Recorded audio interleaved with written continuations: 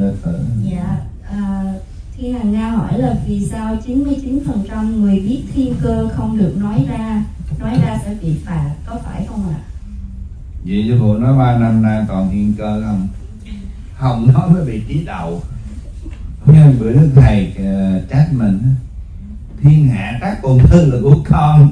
Con không giải thích cho rõ Để cho cái ông bác châu la Để cho cái ông râu rì đâu lan Ông cự nữ thì làm ảnh hưởng tinh thần của nhiều người Đang ờ, đang chiều hướng tu tập Thì tại con không có giải thích rõ. Mình giải thích kiểu nào ta bỏ tay luôn á. Đó là do con người chắc thôi.